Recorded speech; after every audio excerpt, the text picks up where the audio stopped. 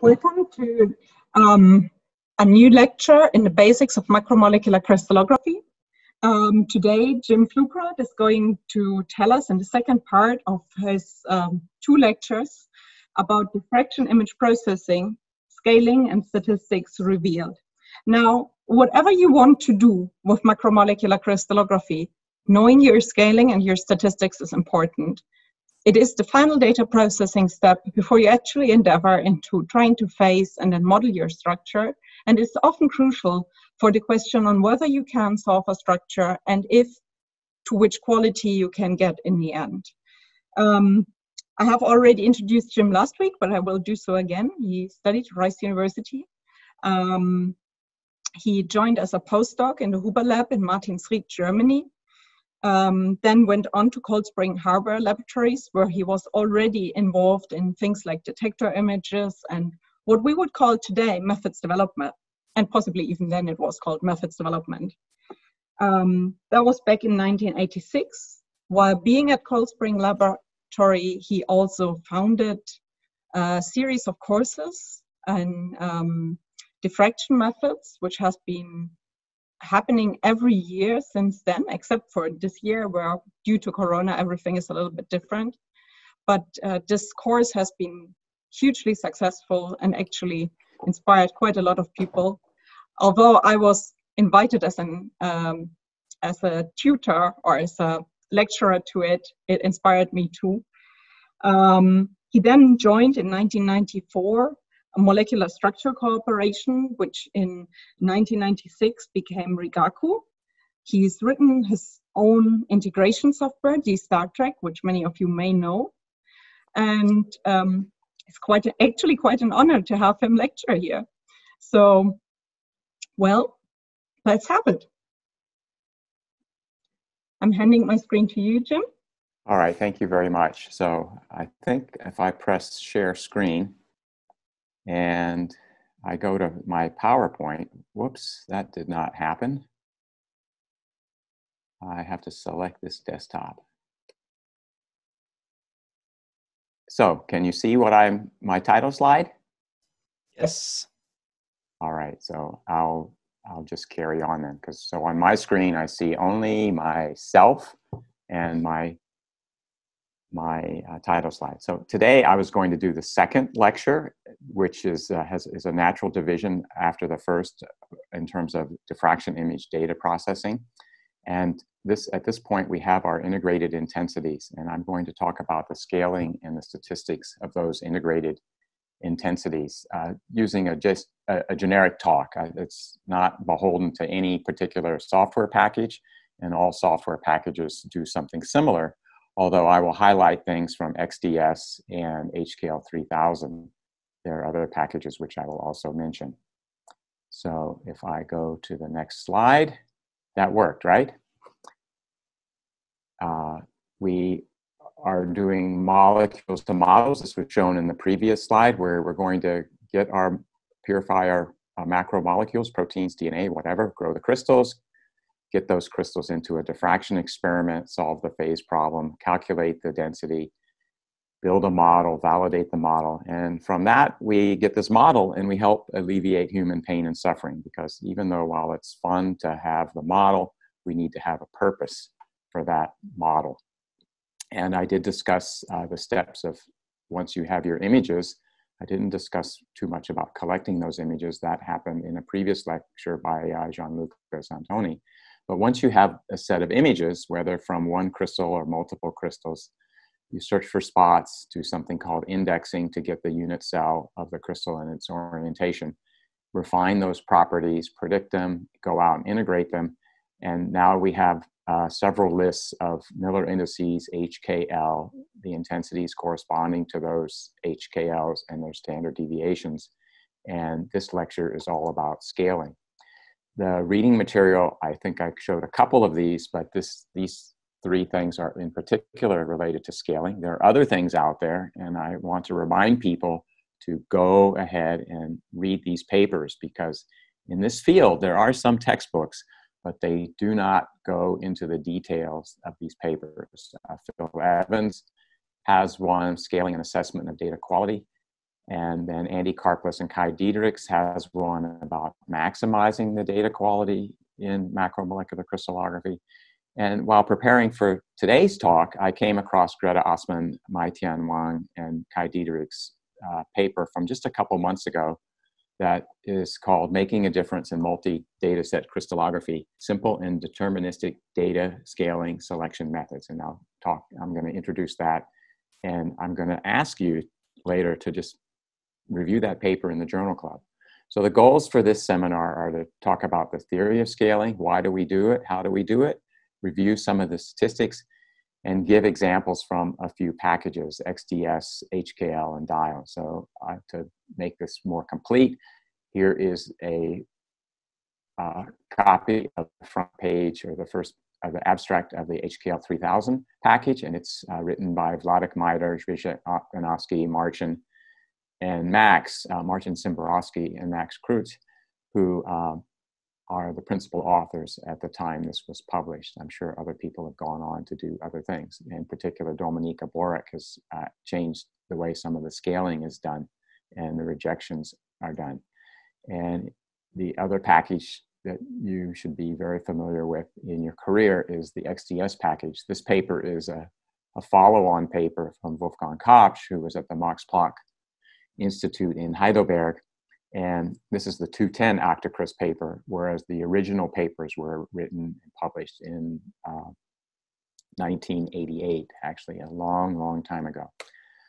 Uh, in addition to that, another package that's being used nowadays is the uh, DIALS package from the Diamond Light Source. And, and this is just a screen grab from their publications online. And these things are also an active, uh, this group uh, with uh, Graeme Winters and headed up by uh, Evans is an active group in building data processing software. Uh, and the group is now spread not only at Diamond, but over at uh, in California at, um, I think it's LBL, uh, Lawrence Berkeley Lab.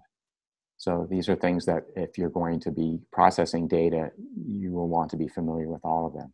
So we have this uh, diffraction data. What are what are our goals for the data? Our expectations on how good the data has to be is uh, dependent on how we're going to solve the phase problem. And these are different methods of solving the phase problem where single anomalous diffraction phasing is perhaps requires the absolute best data, particularly if the anomalous signal is weak, say from a sulfur. Intrinsic sulfur is found in the molecules that were used to grow the crystals.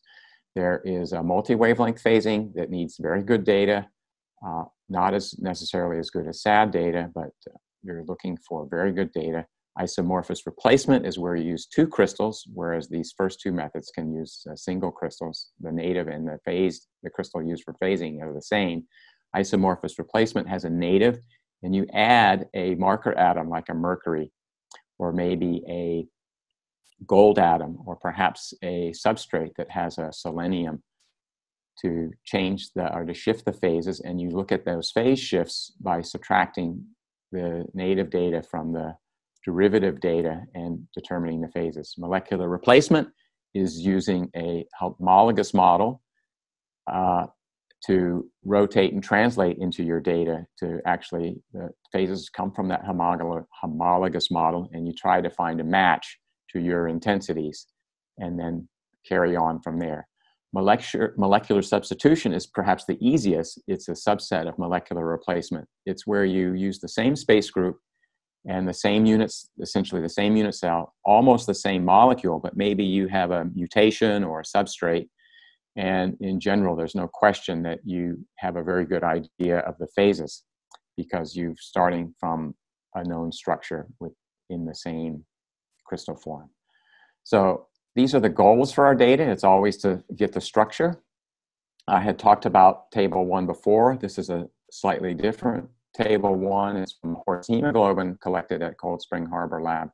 And the space group is different. And it's not as nice as the previous table one from the last talk because that was a very, very nice uh, hen egg white lysozyme, which diffracts really well. This doesn't diffract as well. It doesn't go to as high a resolution, although still relatively high resolution for many people.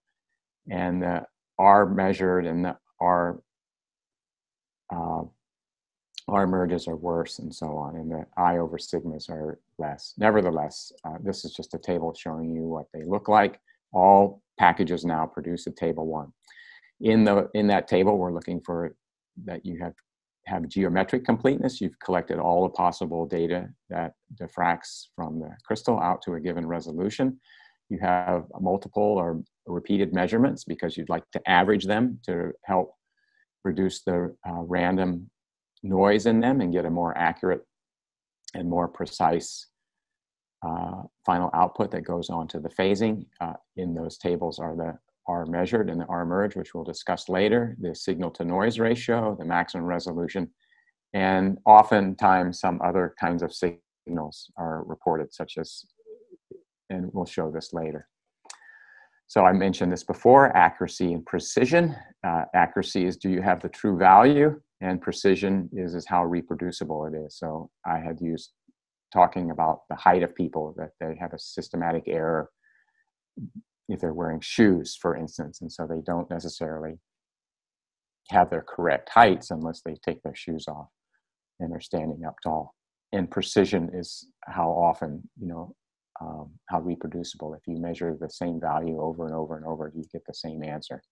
Once again, for the difficult phasing problems, uh, precision does not trump accuracy. In fact, you could have one measurement that was absolutely accurate for every HKL in the Bijvoet pair, and you could solve the structure.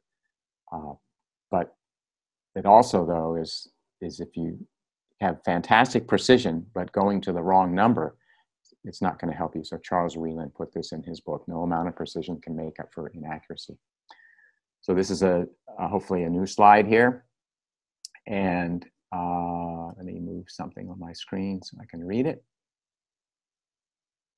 The end result of this diffraction experiment is a list of Bragg reflections indexed or labeled by their Miller index H, K, L in the three principal directions of the crystal lattice with the integrated intensity indicating uh, shall we say, the diffracted photons from that reflection or that group of reflections that have the same Miller index and the standard uncertainty or sigma of that.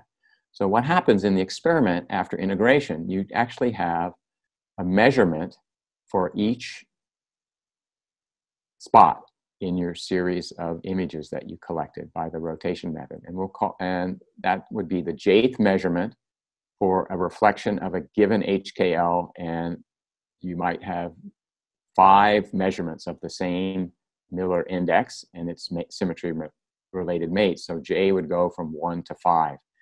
And you also have the Poisson counting statistic derived standard uncertainty or the sigma for that. And given that these two things come from integration, you can now calculate an average of all of those those J reflections for a given HKL using a weighted average. And this weighted average, uh, for those who are physicists or whatever you could say, this is like a center of gravity determination. This, the weights are here, and the weights are 1 over the standard deviation squared. And so it's the weight times the intensity divided, these summed. And if we just divided by uh, J it would be the average, but we want a weighted average, so we multiplied by the weight and divided by the sum of the various weights. So WHJ is the weight, as we showed. And the other thing in here is the so-called scale factor. GJ sub K is a scale factor applied to this observation and it's indexed by K and J because K is for the scale factor for a group of reflections. And J is the scale factor for that particular reflection. So it looks like in theory we could have a lot of different scale factors, including one per measurement. But the reality is, is that we tend to group reflections together to get the same scale factors. For example, all of the reflections in image 100 at the same resolution band, or all of the reflections in crystal number two at the same uh, resolution bands and so on. So it's important to know that there are many scale factors and and we're not and they're usually restrained and so they're not going everywhere. And now much of the rest of this talk is how do we get these scale factors, okay? So that we can then go back in and calculate the average intensity for a group of reflections with the same Miller indices. And we can calculate the standard deviation as well, uh, which comes from all of the uh, incoming standard deviations. I had talked about Poisson counting statistics before, and just briefly, it's that uh, if you have some quantity q, the variance is q, and the standard deviation, which is the square root of the variance, is the square root of q. And we do error propagation, so the errors add by variances. And so uh, I did talk about the principal thing we're subtracting in integration is background, and you need photons to get uh, a decent, let's say, relative error to get a good measurement and uh, that you hope is precise and accurate. And having extra background screws that up. So that's an experimental error. So now on to the new stuff. This is scaling. We are doing scaling for these four, four principal reasons. We're going to determine and confirm the crystallographic space group. We're going to correct for systematic errors that we can discover and correct for. We're going to validate these standard deviations or these sigmas. And by doing that, we'll describe it. We want the observed uncertainties to match the expected uncertainties. And we want to reject the outliers. Now, I will say this over and over again. We can't reject outliers unless all of these other things are good. And we can't get all of these other things good unless we reject outliers. So you iterate through this. You reject outliers, go back and make sure you have the right space group, that you're correcting the errors, and you're validating the signals. And you'll see that. So if we look at the scaling in the HKL 3000, HKL 2000, or the program known as HKL, not only does it do the things I just mentioned, it also combines the so-called .x files, which is you get one .x file for every uh, diffraction image that is integrated. And this, these .x files contain the Miller index and I and sigma I, and a little bit of information about the spots on the image. Those, those spots could be partial, not completely full, and I talked about partiality last time in general, they apply a scale factor to each dot x. So for each image, it gets its own scale factor. So the G that I talked about, they, the, the spots on a, an image is a natural way or a logical way to group a set of reflections together into a scale factor. The other thing that HKL does in scaling is it does a post refinement. So it refines something called mosaicity better. And this tells us whether a spot really did intersect the Ewald sphere while that image was being collected. And it also adds together the partial reflections from adjacent images to get a full reflection. And I briefly showed a diagram of this, I thought, last week. So once again, we'll determine and confirm the space group, correct the systematic errors, validate the sigmas, and reject the outlier measurements. And of course, then we'll output stuff for humans to read and look at and judge whether the process is completed. So determine and confirm the space group. There are three things that determine the crystallographic space group. And often, as a new crystallographer in a lab, you you usually come from a, well, there's many ways you can get to it, but let's say you're a molecular biologist, you've purified your sample, your protein, you've put it into trays either with pipette men that you do yourself or you put it into a robot you grow the crystal you somebody has taught you how to flash cool it you flash cool it put it into pucks you collect you go to a beamline collect the data the beamline scientist is there helping you all this data is coming out it's not exactly hitting you in the face but at least it's going into your eyes that you see and then you have to process it and often this is done automatically but in all of that, you don't have to know any crystallography. But the first kind of crystallography introduction you'll have is what is a space group? And I did talk about Laue uh, classes and uh, Bravais lattice types last week. Uh, the vocabulary switches depending on who you talk to. There's probably is a correct vocabulary, and um, I forget what it is. Nevertheless, space groups. The three things that determine the space group are the geometry of the unit cell, the observed symmetries, and the systematic absences. So the geometry of the unit cell is just things like of the three cell lengths and the three cell angles. Are the cell lengths, are the three cell lengths the same? Are two of them equal in length? Uh, say within error. Uh, are all three different? Of the three angles, are, is one or two of them 90 degrees? Or all three of them 90 degrees? Are none of them 90 degrees? And this will tell us whether we have a, a cubic crystal system, a tetragonal crystal system, a hexagonal crystal system, a trigonal crystal system. Maybe you have a, a beta angle of 120 degrees, for instance, and and so on. Uh, the geometry of the unit cell will help restrict us to a given uh, crystal system. The observed symmetries now uh, do have a twofold across the A axis, across the B axis, across the C axis. Is there a threefold? Is there a sixfold? You would look for symmetries in the observe in integrated intensities. And this will tell us something about the space group as well. And then finally, the systematic absences are along the reciprocal lattice uh, vectors, the HOO, the A star vector, the B star vector, which is OKO, and the C star vector, which are uh, OOL. Now, there's centering operations which give rise to systematic absences. Uh, I won't detail that here, but you need to be aware of them. But in this case, I'm talking about the systematic absences along the principal axes uh, A star, B star, C star, or HOO, OKO, and OOL. So here is the output of uh, one program. I believe it is probably pointless.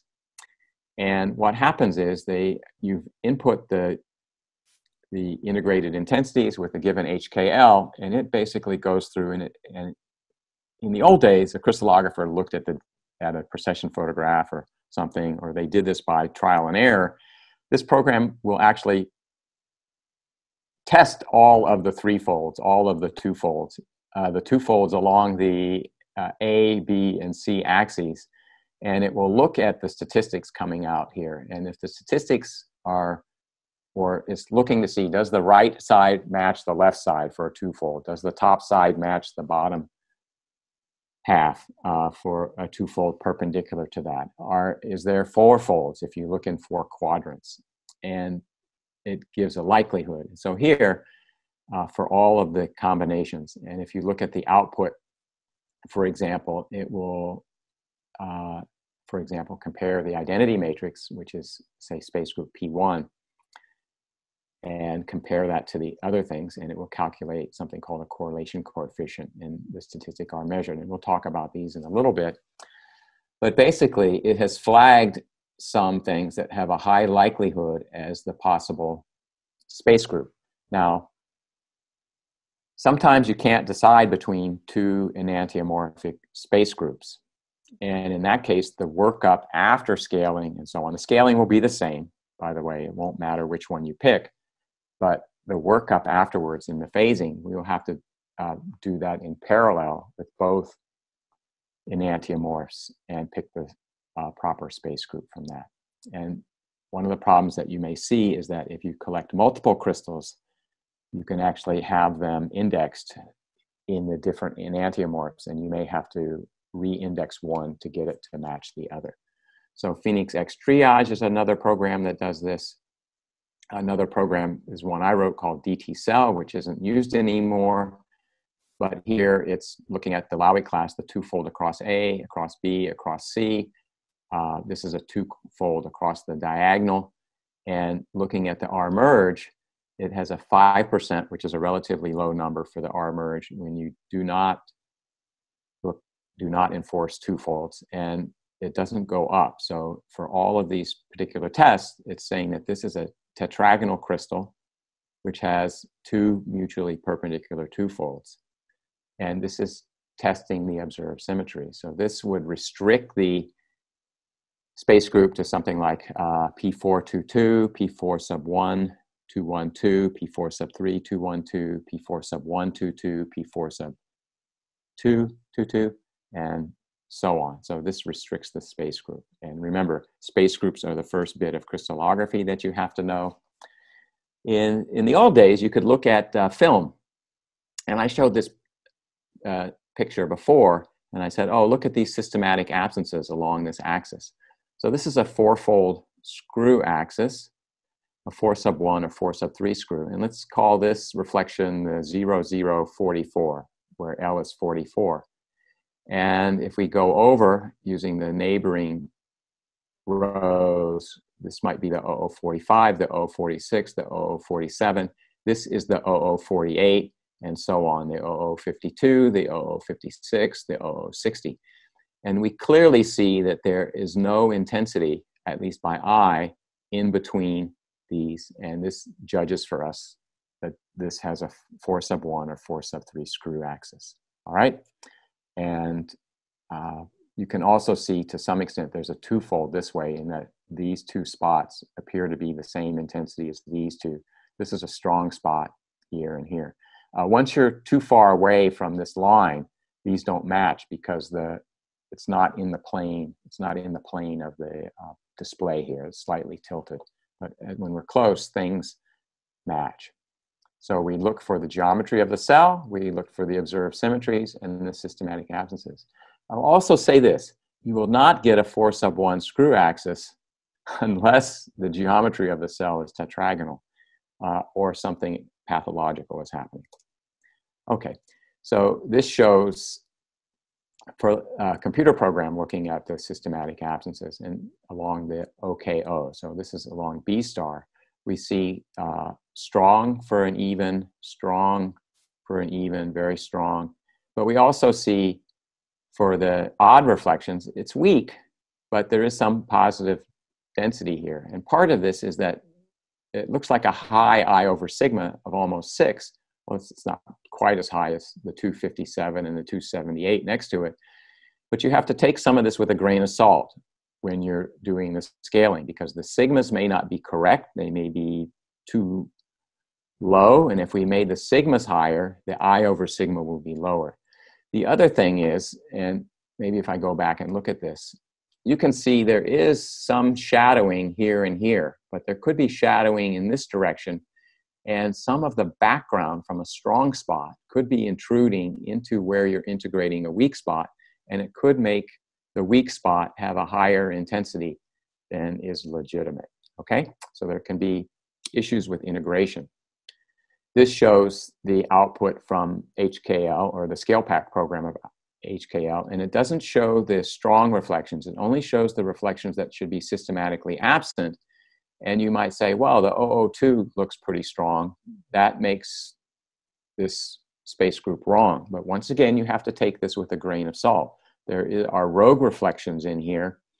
Uh, perhaps the uh, intensity is, the sigma is low for whatever reason, uh, something with the background and so on, or a spot reflection or the spot is high because of background streaking away from a neighboring reflection. Or there could be zingers, or there could be ice spots, or something like that in here. So these things, you have to look at many things here, and the things like pointless and Xtriage try to do that to confirm the space group. Next up, correct for systematic errors. So you have systematic errors because of different crystal volumes, different crystal exposure times, different detectors. You can merge data from different detectors. Radiation damage is something so that uh, images collected at the beginning of a exposure are have less radiation damage than those collected at the end of the exposure.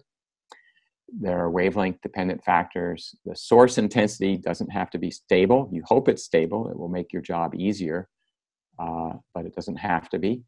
You have different absorption due to different paths of the uh, incident beam wave and the scattered beam wave vectors through the crystal and other matters, such as the loop or the crystal mount. Other things are happening too. Your crystal could be uh, cracked, so it looks like you have multiple crystals in the beam, or you could have picked up in the loop several crystals that uh, the beam sees, and those could give rise to Bragg diffraction that superimpose either on your uh, your the Bragg spots you're interested in or into the background of those spots and you of course have ice rings and uh, a systematic error that you would like to see is anomalous scattering of course and you don't want to correct that away so just quickly an x-ray beam in purple here uh, here's a crystal in here and I've rotated it here and you can see the volume in the beam here is different than the volume of the, uh, I mean the volume in the beam here is different than the volume in the beam here. Rotate more and there's even less here. Now it's possible, I'm trying to think how this was done. I could have the rotation axis not here in the center of the crystal. It could have been right here where my arrow is. And as we rotate, a big chunk of the crystal rotates out of the beam. This is very likely nowadays with modern uh, macromolecular instruments. The beam is generally at beam lines is smaller than the crystal, so we shoot through a portion of a crystal. We may even raster a crystal to try to find a good spot with the best collection of well-ordered unit cells. So we often have a different uh, crystal volume in the beam. Or we could have the beam larger than the crystal and have all of this in the beam. Uh, nevertheless, generally the beam nowadays is smaller. You could use different crystals and you could have a big crystal, little crystal, and obviously the number of unit cells in each of these examples is different and you'll have to correct for that. If you have a beam that isn't stable, maybe you have the strong beam at one synchrotron and a weak beam at another synchrotron, or the beam decays, although with modern synchrotrons, they usually use top-up mode and they try to keep the beam stable.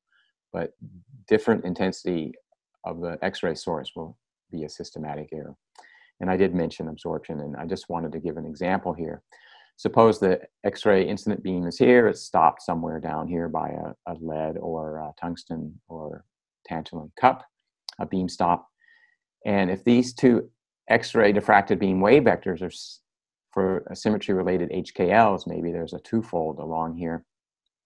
Uh, this beam goes through more material of the crystal, but it could be the loop or the sample uh, holder than this direction. And so you would like to discover and correct for these kinds of absorptions in your crystals.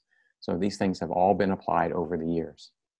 So in the 60s, this was appreciated already by Fox and Holmes eh, or Hamilton, Rollett, and Sparks in terms of trying to scale different batches of crystals together. Uh, it's not new to do multi-crystal averaging. Certainly, uh, Max Perutz and the early pioneers had to do this. And I wanted to just give a quick example.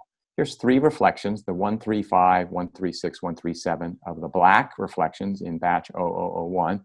And the same reflections in the batch 1001. This is 0001, 1001.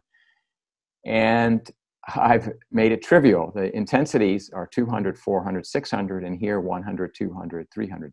So using this equation I showed before, one should be able to see that the scale factor between these two batches, I, I have to multiply the black batch by a factor of two to match this, or I could say I have to multiply the blue batch by a factor of 0.5 in order to match this. And then if we calculated all of this, because they're, uh, after scaling, they're identical, this would be zero. The average would be uh, whatever it is here, 100, 200, 300, and the differences would be zero. The reality is that you have errors in the measurement and you have Poisson counting statistics and nothing's perfect. And away we go here. And I didn't show the standard deviations in these examples at all. But this is the equation, and the G is how you logically assign batches, if you will. It could be different crystals, it could be different images, it could be at first different images, scale that within the data set, and then add a new scale factor for among different crystals. Uh, and so on. Clearly, uh, should, you should get this in your mind. Absorption correction applies to a given crystal and its mount. It does. You would not use the same absorption correction for another crystal. Okay. So, a added thing to this simple Fox and Holmes or K and B scaling is that mathematically it's better to use the inverse of the scale factor. And furthermore, it's better you, generally you would like to apply a resolution dependent scale factor as well not only a scalar k but a so-called uh, b factor and this b factor is in the term e to the minus 2b sine squared theta over lambda squared, and is resolution dependent. And this makes sense because radiation damage uh, creates bond breakage and other effects that cause parts of the molecule in the crystal to shift and move. And very small shifts will reduce diffraction, reduce the order at high resolution. And so what this does is uh, smoothly scales up based on resolution things that have diminished intensity from say a zero dose time point for later on. And so this is quite common. So the B factor is resolution dependent and can help indicate radiation damage, which we'll discuss in a minute. And absorption correction is generally done after this using incident and scattered beam wave vectors. And two major types of equations are to use spherical harmonics or Fourier series to do this. And this is math that is above my pay grade, and so we're going to skip over it.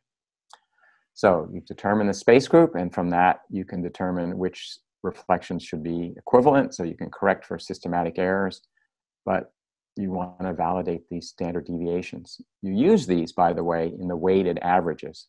Okay, so everything you're everything you do here depends on everything else. All four of these things are interdependent. So what we want to know about the standard deviations is do the observed uncertainties, do the sigmas match the inspected uncertainties? So what are these observed uncertainties and what are the expected uncertainties and how do we know if they match? And I'm going to show something called the reduced chi-squared, but then why do we care if we have these sigmas right? Well, we need the proper weights for phasing and refinement, not only for scaling, but also for phasing and refinement. We don't want to make a reflection or a crystal seem twice as good as it should be by multiplying all of the sigmas by um, the square root of 2 or by, uh, I'm sorry, by the 1 over the square root of 2 or by 1 half, whatever it is. Uh, so let's take a look here. You know from general statistics and your pocket calculator what the sample standard deviation is. And I've couched, I've labeled it here as the average intensity minus the uh, observation that went into calculating the average, and you square divide by the n minus 1, and that's the square of the standard deviation. This is the observed standard deviation that we calculate from measuring multiple Bragg intensities from the observations. Notice that there's no uh, sigma from the individual observation here. I've already talked uh, three or four times now about Poisson counting statistics, and this is so unlike some other physical things, we can calculate from a single measurement based on Poisson counting statistics what that measurement's standard deviation is or what its sigma is. However, that standard deviation comes out of a detector that is in general not giving us photon counts. We're getting the counts as uh, analog to digital converter units, uh, analog to digital units, or as um, counts. And so we must correct for the conversion from photons to counts, and we do that with an equation like this. This is the expected standard deviation from a single Poisson counting statistics, uh, using Poisson counting statistics from a single observation. And generally, you take the sigma and multiply it by some factor, and that's going to turn out to be the square root of the gain, the square root of the conversion factor, uh, because when you square this, this becomes squared and it will be doing a conversion of the variance by the gain. And you add in some additional error uh, based on the intensity of the reflection here and things add in quadrature to get this adjusted thing. So if we, if we get this, I just say that in the various programs, uh, somebody will have calibrated the detector and the instrumental setup and so on so that they know what is the scale factor for EMOL for that particular set of hardware. And the intensities added in is generally after you calculate everything and you get an R merge, you never get an R merge or an R measured of zero. So this residual is kind of the residual error, and you can multiply the intensity of each reflection by this residual error and add that into the standard deviation.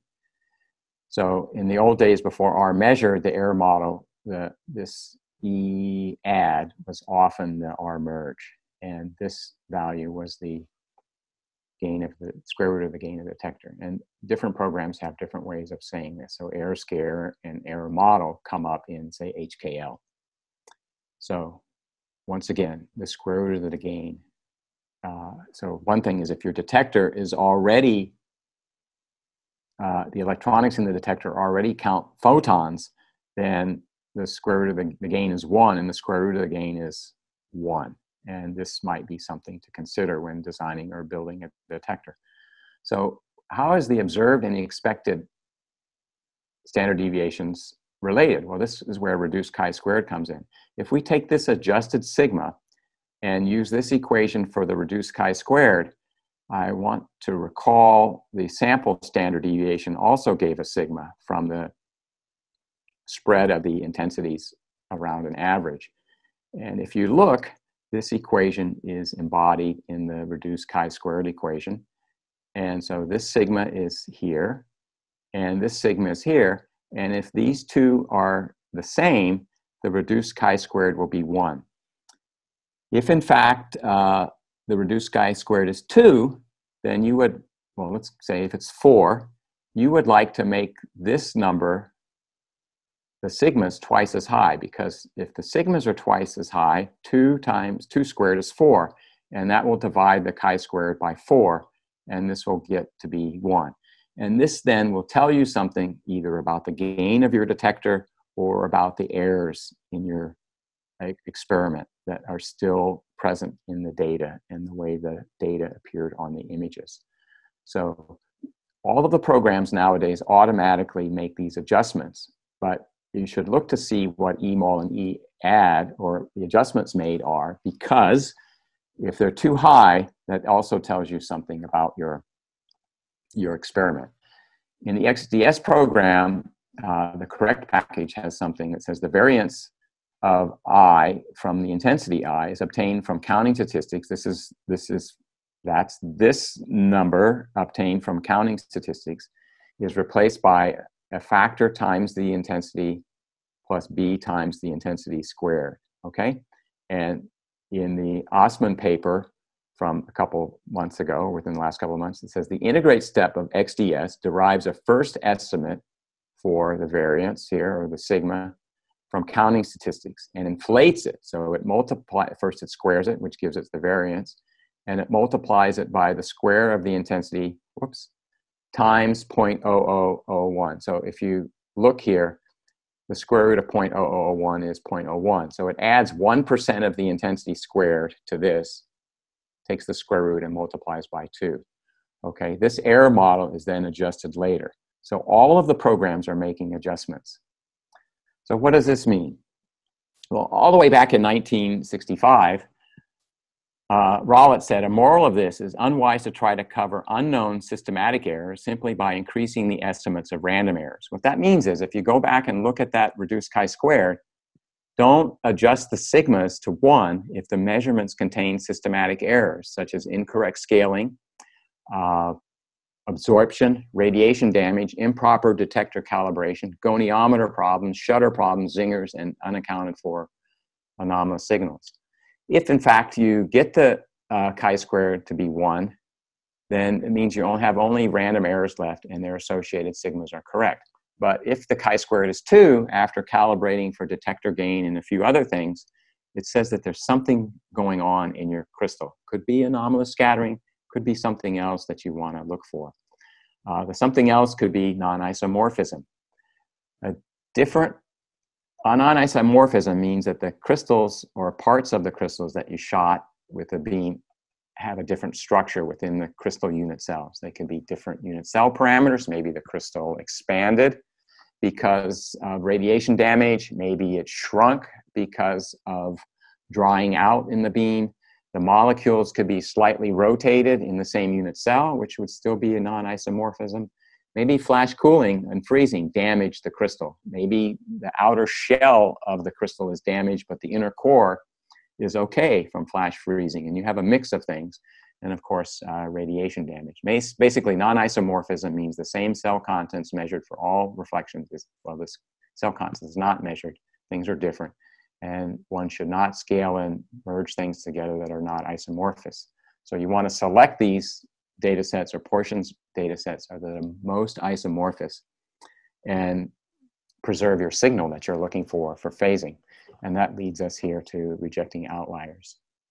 So before you reject outliers based on the hard stuff, reject outliers based on the easy stuff, shadows in the images, uh, erratic things. Uh, and then the hard stuff is if you've done scaling correctly, you can reject things that are uh, too far away from the average, like five sigma away. And new is, uh, I'll discuss the Assmann paper, where they use something called delta CC1 half to reject groups of reflections. Generally, if you've done a good experiment, you'll reject less than a half a percent or 1% of the observations. If you rejected too many, you have to suspect something is wrong. So here's a Pilatus detector uh, introduced by um, Gianluca Santoni. Uh, it has multiple modules here. And you can see that between the modules, he said there's gaps. Obviously, you need to mask those out. There's a beam stop shadow. You need to mask that out. And in the corners, there's this odd shadow, which turns out to come from the cryostream nozzle. And along this right edge is a shadow that actually moves. It comes from the crystal goniometer. And as the crystal goniometer rotates, the shadow moves up and parts of it disappear down here. So all of these things are very obvious to you when you look at the images that you must mask them out. And down in the edges here, there's some interesting things here. I don't know what they're from on this detector, extra tape or missing tape or something, but you might mask these out in the integration step. Here's a case of another erratic error, and I'll zoom in on this particular panel, which shows for a given image number, 0 to 180, somewhere in the middle, this, this is the scale factors. The scale factors are varying smoothly, as they should, because the crystal isn't changing very much at like a half a degree rotation. And then all of a sudden it goes way high. What's going on here is the shutter forgot to open and the program is trying to scale all of these spots in this image up from zero. And because every image has partials, it's affecting the neighboring images as well. So just deleting this diffraction image from the data set uh, solves that problem. Those are things that you can look at and determine. Now, on to correlation coefficients in the last few minutes here. Um, first, I want to define it. So in Wikipedia, Pearson's correlation coefficient is commonly represented uh, as a correlation coefficient. And what the way I treat this is that it's like having two vectors of, of data. Uh, it, it, could be a 3D vector. So if you were looking at, um, or a 2D vector, Vectors that go in the same direction, if you calculate their dot product, uh, it'll be like the cosine between the, of the angle between them. So it'll be one.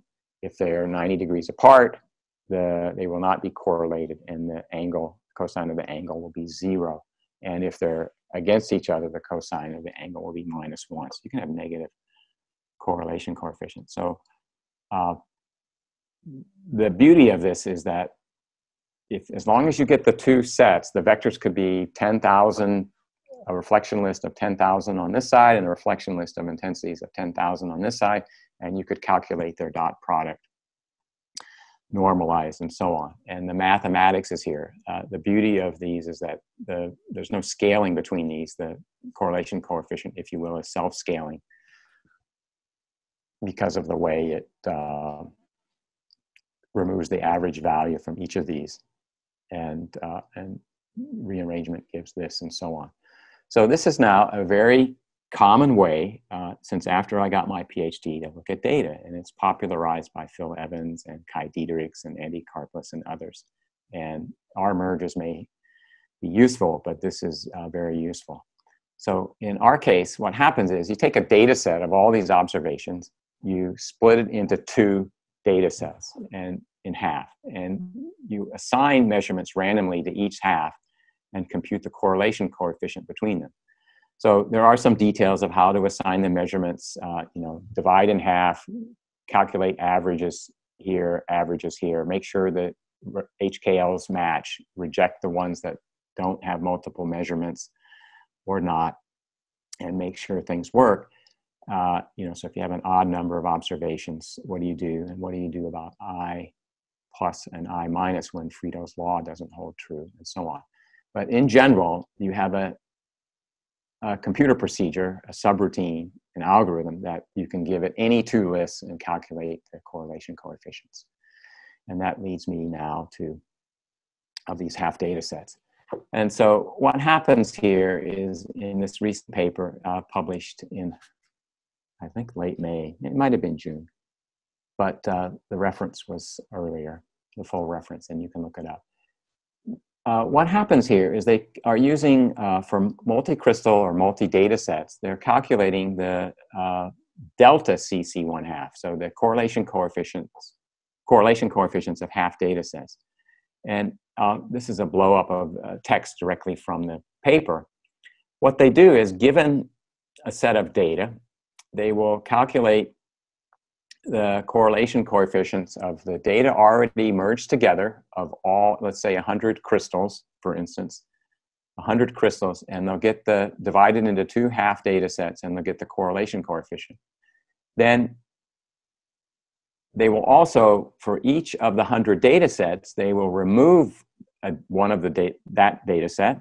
So there'll be uh, 100 different ones with 99 99 data sets merged together, averaged to get the half set correlation. So that would be the CC one half without that ith data set. And they'll sub- calculate that. Of course, they have the one from all 100, and they'll just subtract this, and they'll get the delta CC one half. It turns out if by adding a bad data set, this will go negative. And if they take all of the 99 different ones that they the 100 different ones they get and sort them on the lowest delta CC half, they can remove uh, like the worst one, the worst one or two. So uh, basically, this doing this informs you whether dataset I improves the delta CC half of the whole dataset or deteriorates it. So an improvement would mean that uh, removing one makes this a little bit better or keeps it at zero, and adding it in deteriorates it. So you can you can delete that and you can do this in a pipeline. So that's the beauty of this. There's no art to decide what are the bad data sets uh, that you don't want to use. And this is a flow chart of the pipeline. They scale, they integrate with XDS, scale it together, and then they go down and decide uh, can they solve the problem with uh, SHELX, say with an anomalous uh, substructure and so on. If they can, they have an answer. And this speaks back to last week when I said, how do you know you have, somebody asked, how do you know you have accurate data? Well, you solve the structure, you find the substructure. If you can't find it, you go on and do this um, in a program XDS CC half, and you reject the worst data sets, go back up, repeat, scale, go back up, repeat, scale until you are able to do it or you completely fail. In addition to this is that uh, if you have misindexed things like the enantiomorph set that I talked about and some other things, you want to uh, either re-index them and get it in here correctly from that separate cluster of like data and repeat this. So this is a pretty good flow chart. I, I like it. And that's why I'm telling you uh, that you should look at this in your journal club. And although they didn't report things in the paper, about this, they did mention in the in the discussion that you could probably do this to decide which images are good and which images are bad. So here we go. At, we now have done the scaling, we've done the rejections, uh, we've done the validation of the sigmas. We can look at these R factors. And I need to point out that the old days we looked at R merge, how far things varied from the average, unweighted. And now we either weight by the multiplicity of the data here with n over n minus 1, take the square root, or 1 over n minus 1. This is the uh, redundancy independent merging R factor, and this is the precision independent merging R factor. So the R measured, whoops, indicates uh, the precision of the unmerged data rather than of the merged data, and the PIMP gives the precision of the merged data. The papers are here to take a look at uh, for further discussion of that. So some results. Uh, this is out of HKL. I quickly want to go through a few results in the last few minutes here. There's a chart here from the HKL 3000 display or HKL 2000 where it shows the chi-squared versus the image number and in red dots and in blue dots the R factor, it's merge here, R merge in this older version of the program versus the image number. And what we see here is that the red dots are clustered between 1 and 1.5. If any image had a bad chi-squared, the red dot would be much higher here, and that would be a reason to reject the, all the reflections from that image. It means something is going wrong with that image that needs to be looked at. Either there's a few bad reflections that need to be rejected, or the entire image needs to be rejected. The R merge is, uh, there's no outliers there as well. On this side, it shows the resolution versus the reduced chi-squared in blue and yellow and the R factor. And the difference here is uh, the blue and the red are with the Friedel mates separated. So there's no systematic errors left here when the Friedel mates are separated. The blue line is all around a chi-squared of 1 and level over resolution. Uh, the gold or yellow line here shows a whopping huge chi-square. So there's something systematic going on here that's showing up. And in this case, it's uh, probably a selenium or gold uh, atom in here and so on. So the signal from selenium will be strong and from sulfur it will be weak or perhaps not even seen in some things, which we'll see in a moment.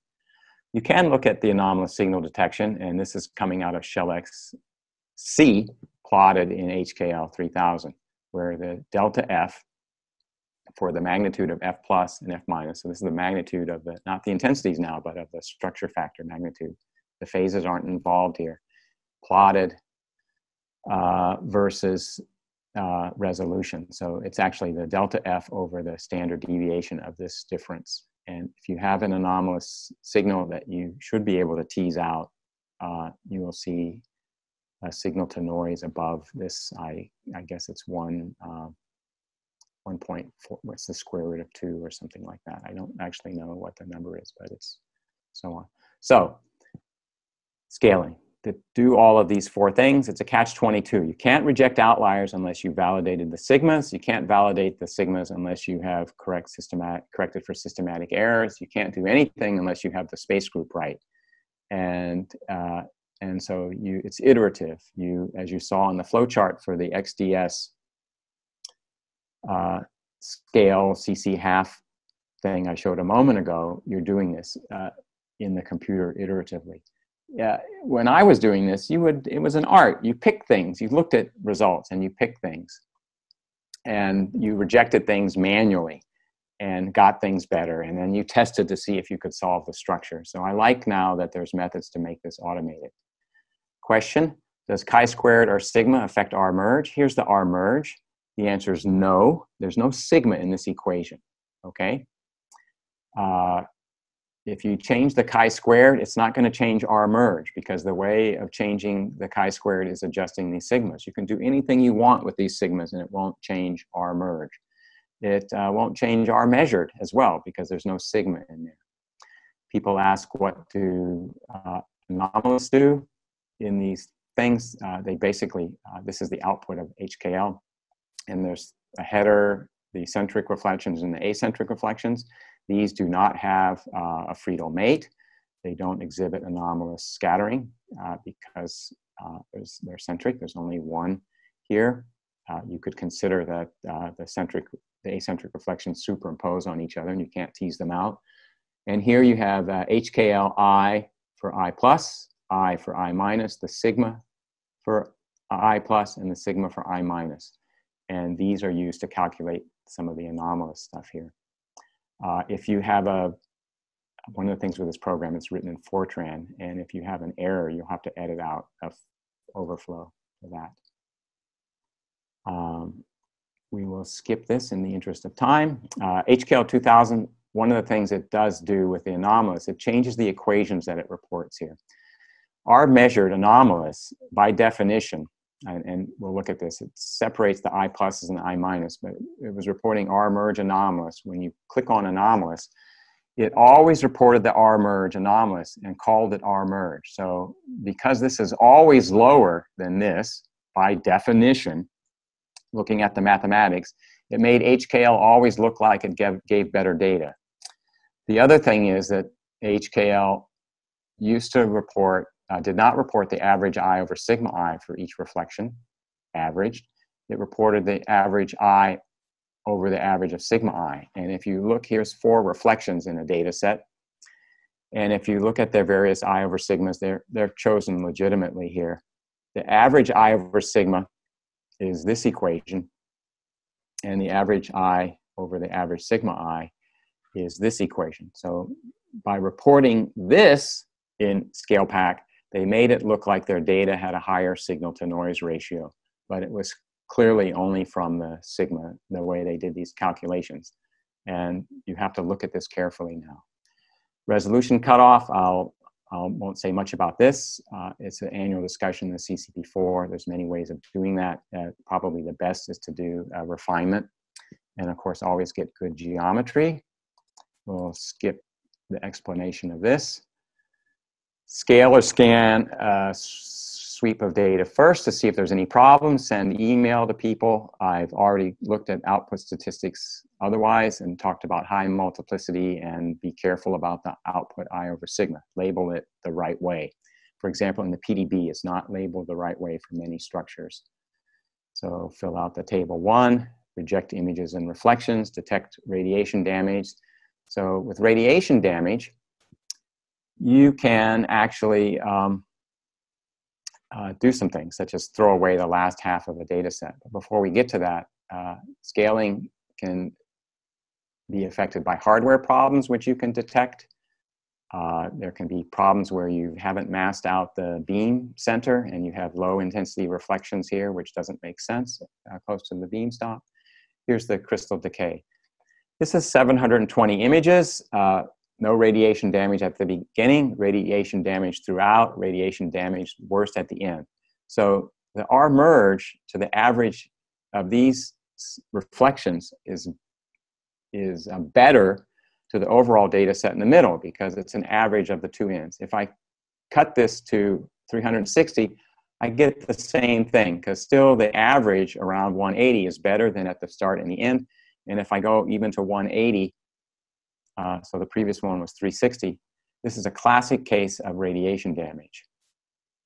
Uh, another classic case here is here's two scans and that B value goes, increases monotonically up.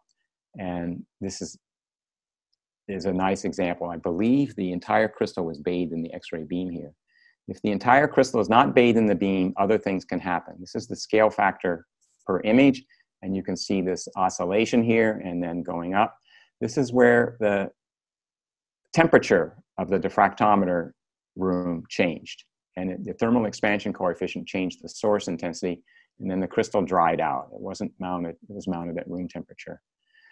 This is a difficult thaumatin. Uh, now you can see like the B values seem wacko. It's because the beam, the crystal was larger than the beam and various things were going on. Scale factors are varying smoothly uh, within the scan, although drastically and the reduced chi-squared is 1. The various R mergers are close to 10%. You would think, wow, this is terrible.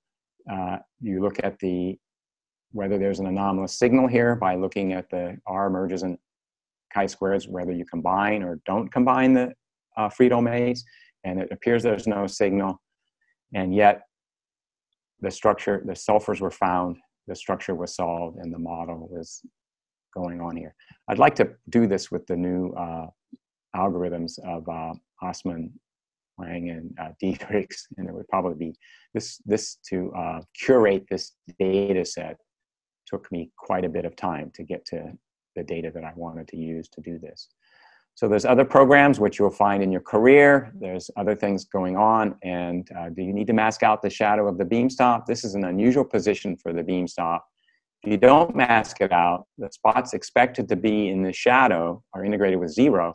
And so symmetry related spots all get rejected. And the R merge is seven about 7%. If you do mask out the shadow, the rejections are fewer. Uh, they seem to be more randomly distributed, and the R merge is 3.2. So the goals for this, in conclusion, we need to do scaling to average out uh, the random errors and also to uh, provide scale factors to reduce the systematic errors. I showed you how you might do it. I didn't go through the specifics of the various programs, but they all use the equations that I showed. And I showed you how you have to adjust the sigmas in order to figure out how to get rid of the bad actors or the rogue reflections and so on in a statistically sound way. And I did review some of the statistics. I want to finish here by thanking the various people that helped me write software and give me ideas or provided data over the years and and so on. So I'll stop there. And I know I'm way over time. Maybe there, uh, we'll see what happens here with uh, questions and so on. So thank you. And I will stop sharing. I uh, I see Andrea now. Okay. Thank you very much for um, the talk. You're not very much over time, I wouldn't say. Um, I hope you enjoyed this lecture as much as I did. Uh, I'm working um, in this field and um, yeah, I really appreciate um, seeing this taught. Um, questions? Either via chat or you can unmute yourself and show your camera so um, that we can see you and ask the question in person.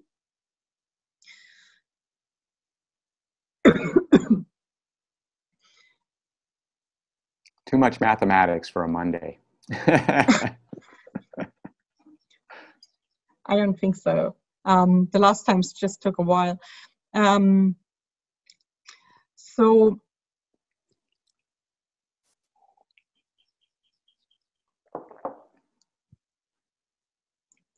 you have been uh, showing quite a lot of different resources to read, and I would go along um, with your recommendation to actually read the papers in case of scaling. But if someone would have no idea because he or she is a beginner in X-ray crystallography, and they just wanted to start somewhere, learn like how can I know whether the data set will be good enough to do something with it? Uh, yeah. Where should they start? Well, uh, in general, somebody is not sitting at home in their kitchen like I am. they have colleagues that they should ask. And uh, it, it, turns out that you might think that science, and as a graduate student, you get dumped in a lab and your advisor doesn't help you. I suppose that does happen, but uh, you should uh, go and uh, look at the literature. So, right now, one of the pieces of literature that you can look at is uh, this is Bernard Rupp's book, and it does go here and uh, it does discuss some of this, right? So I would at least read this. And, and this book didn't exist when I was uh, your age, but uh, Blundell and Johnson existed, and these things were available. The other thing is, um, I realize that people don't want to embarrass themselves by asking questions on the CCP4 bulletin board. Uh, if although sometimes it's okay, people do that. The very one of the very first papers uh, comes from a CCP4 uh, study weekend, and it's Phil Evans' 2006 paper, and you should read that. Uh, definitely read that because it has a host of things in there that gets going. Because otherwise, in this field is so advanced, there just there really are not that many books about it. Uh, there are other books now besides Bernard Rupp's book, and the, the books are different. Some of them are more math oriented. Uh, Alex McPherson's book, he hates math, so they're more, um, let's say, non-math oriented. So that's what that I would suggest. One, read read these books, read this paper, uh, talk to your colleagues. Okay, uh, right now we're not really going to meetings in person, but something that as a grad student I didn't realize is that meetings are so important to to meet people and I remember meeting Dale Tronrud, who might be a participant this morning, back at an Asilomar meeting uh, I don't know when it was. It was in the early 1980s. Okay, we were. I, I'm. An, I was just a grad student. I was just a doofus, and look at me now. You know, I'm still a doofus. Okay, that's that's my recommendation.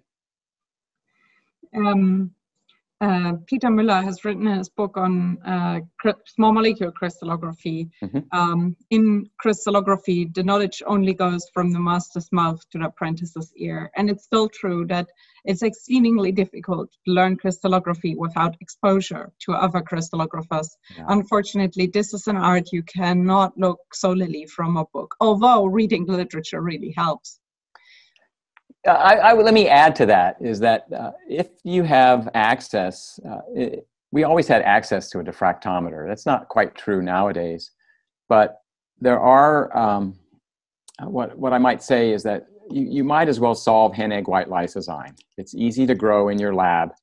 It's easy to do phasing, either from the sulfurs or you can co-crystallize with uh, dicyanoaurate, or you can uh, uh, well, it, it's not easy to soak anything in, by the way. I just say that. It's like you have to co crystallize with various things. And it has some tricks up its sleeve. And so, if in fact uh, your advisor, as a young person in your lab, you're not in your own lab yet, or if you're an, an old, or you are in a lab, it's your lab, and you want to do something, go ahead and do hen egg white lysozyme. It's it's a is it is doesn't cost much money to buy that and get going. And you could then uh, uh, install the software and so on, which is part of the struggle is installing the software. And anyway, so there you go. Um, we have two questions in the chat. The first one is from Yun Yun Gao. A technical question. How is the calibration between detector analog signal and photon counts being done? And thank you for the wonderful math. Uh, Matt.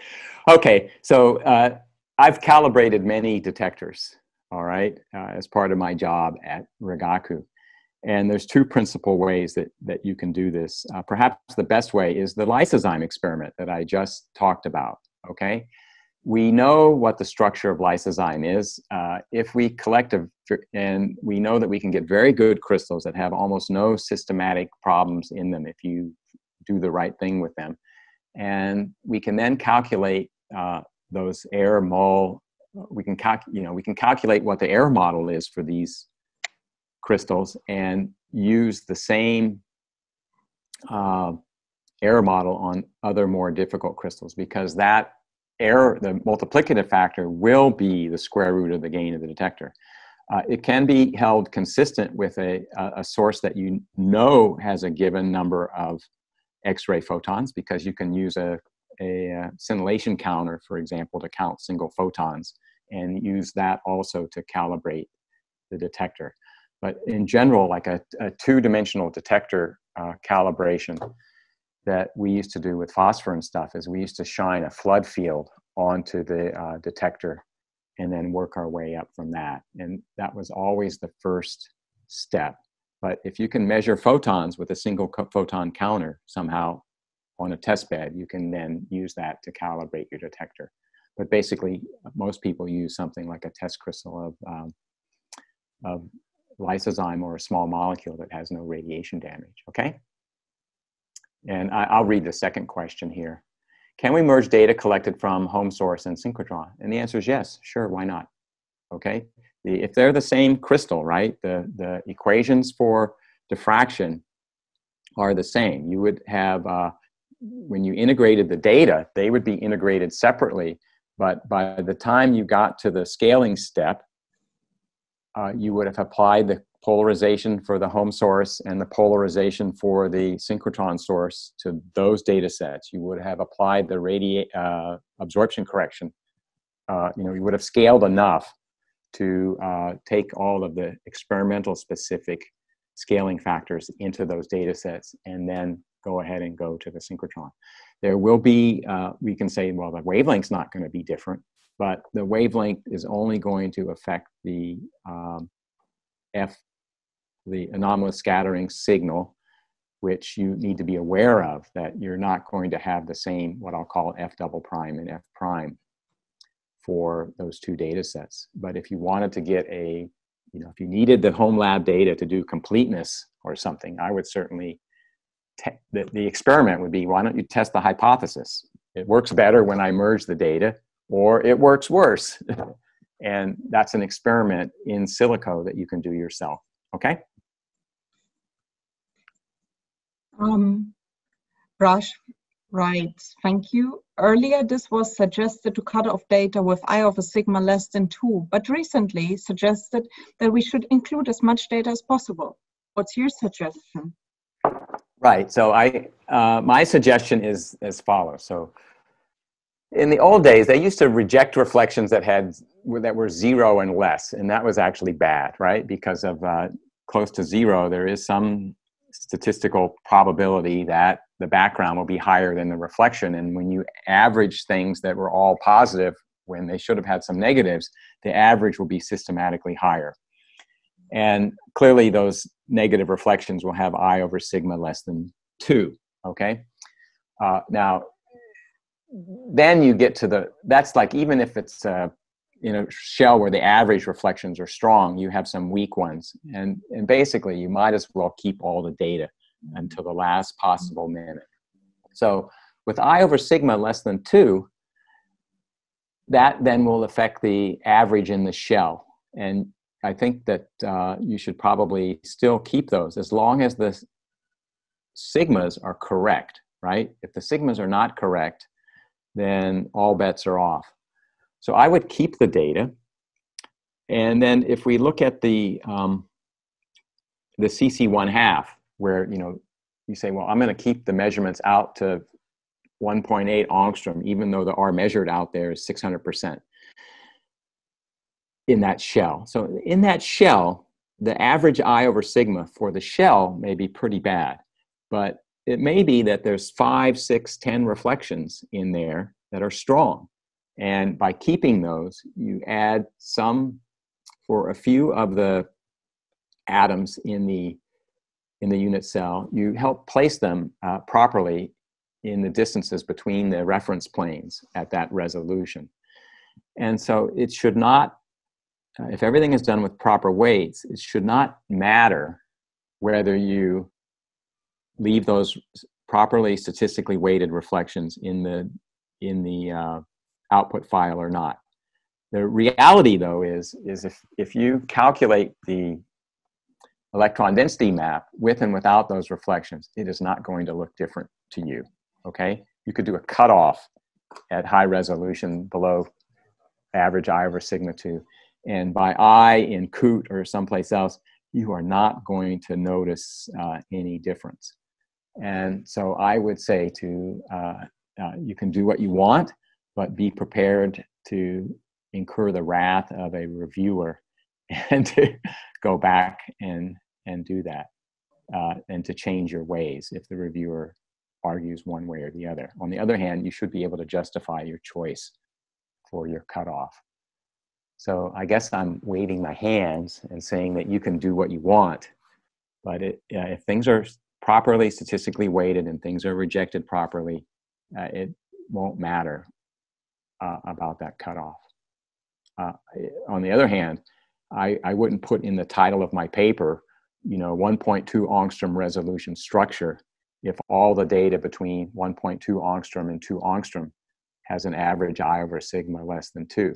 It, it, it, the information is not there and you're not, you're only fooling yourself uh, by putting that in the title of your paper. You might say high resolution structure, this is what we did, uh, but these are my opinions, which is what you asked for, so I gave them to you. Okay?